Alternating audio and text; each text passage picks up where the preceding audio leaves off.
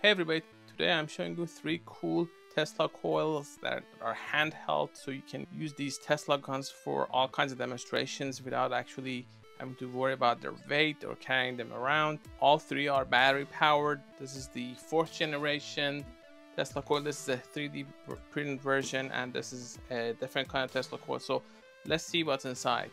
Two of these are battery powered, but this one, which is 3D printed, is not battery powered. It does have the ability to lock in place.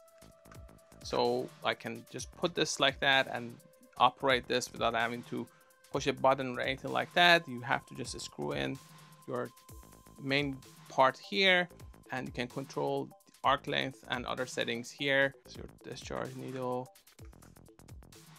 And now you're ready to go. For the adapter, you're going to need this.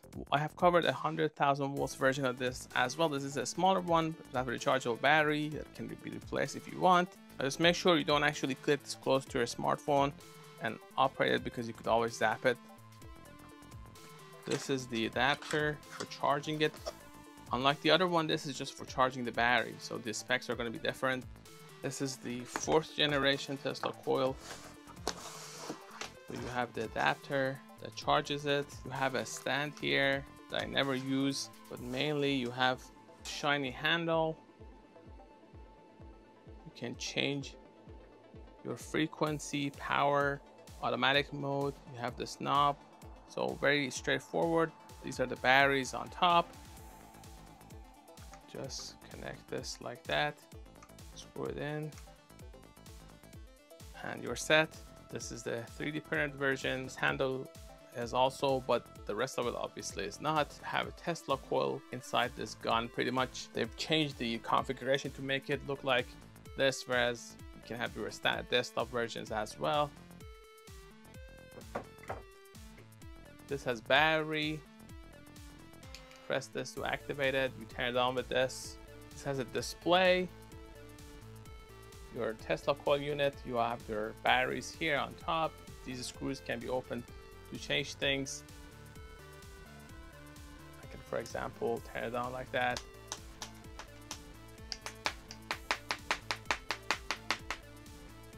This is safe to touch.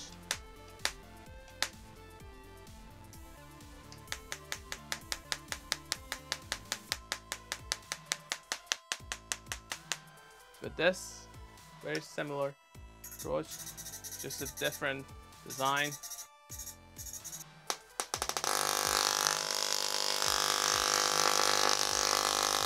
This button here is pretty handy because it lets me actually operate it.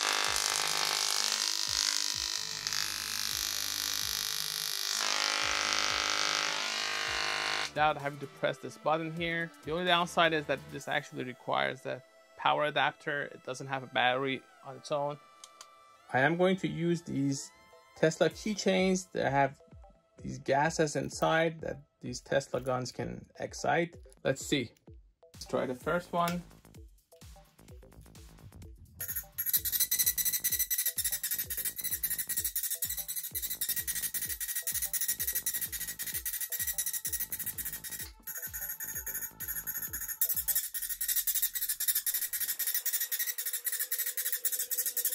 I would say this is not really the most powerful one.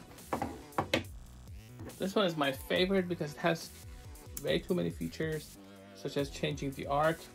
Right now, is that. I can press this button here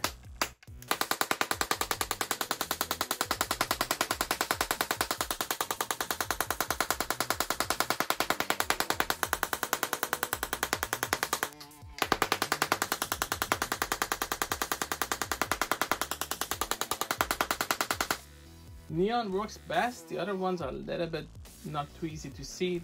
This is kind of the most powerful one of the three.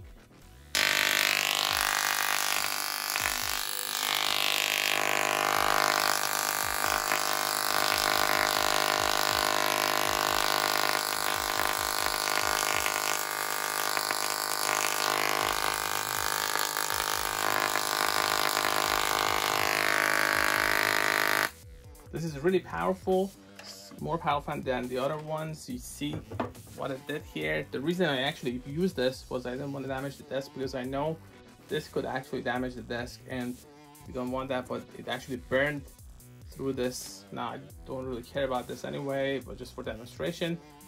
The other ones seem a little bit more underpowered. Personally I like this one because it gives a nice balance of style and power. It's not too powerful. You can touch it still with your hand and it's great for demonstration. It has many options. Whereas this one you connect it to your adapter and it's it puts on a very impressive show. Just have to be careful that if you have something that you really care about you don't want to point this at it.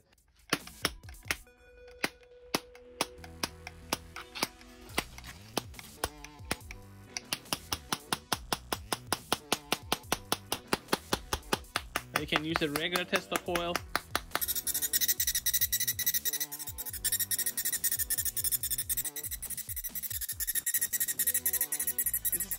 these actually.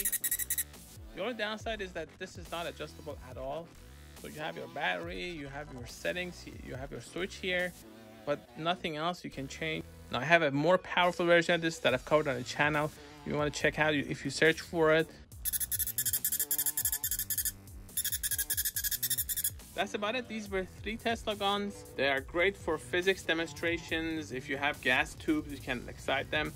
The 3D printed one is very strong, so you gotta be careful if you have any surface that could get damaged. You wanna cover it properly. You, don't, you shouldn't touch it either. Whereas the other one, the fourth generation Tesla coil with a shiny handle, is safe to touch. It has adjustable settings. This one doesn't have any adjustable settings, just a switch that you turn on and off.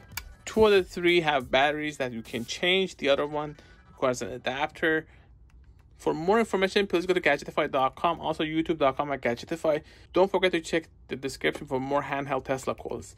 Thanks for watching.